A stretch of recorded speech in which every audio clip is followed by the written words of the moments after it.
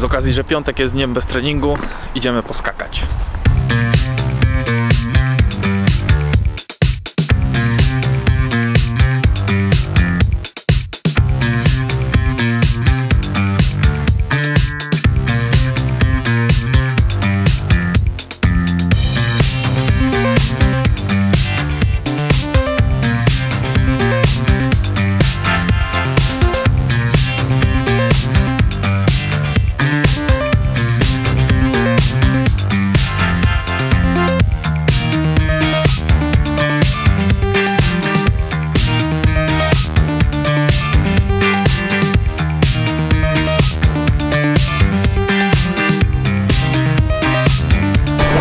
Jeśli chodzi o skakanie, polecam tą formę rozrywki.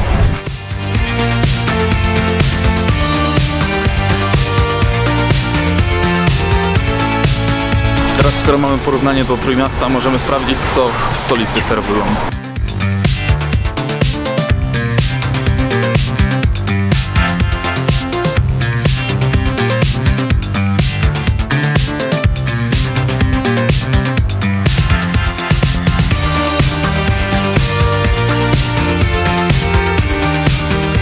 Daniel jest wyzwanie dla małpy.